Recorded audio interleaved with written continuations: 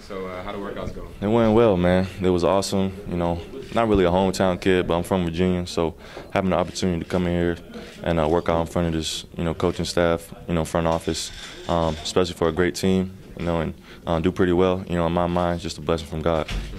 So you know when you first came into the UNC, you, know, Right. you were oozing with potential, you still are oozing with potential, Right. and you were considered a lottery. pick. Right, right, right. After staying your, a few years in Right. UNC, you kind of slipped down to the second Right. round. So do you feel that people are kind of overlooking you now? Um, you know, definitely. It's something that, you know, I realize, you know, but at the end of the day, it's going to be their loss. You know, I'm going to come in here and just work my butt off, you know, each and every day and every drill, every opportunity I get, you know, and um, hopefully I can have the opportunity, you know, to, you know, take my next step in the NBA, and get with a coaching staff and the off front office, you know, and the team that can help me to continue to develop my game and, you know, go from there. What have you been working on the most over this Right. Um, really just trying to be solid. I feel like at Carolina, you know, I did a lot of things pretty well.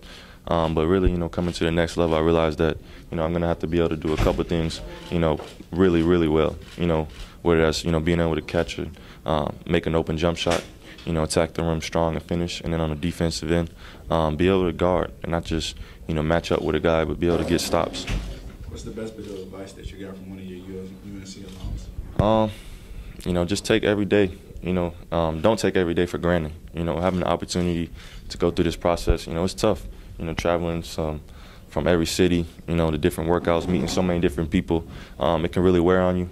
But at the end of the day, I'm living my dream right now. You know, just having the opportunity to, you know, put on this, you know, workout uniform and go out there um, and play the game I love. What role do you see yourself playing with the Wizards if they select you?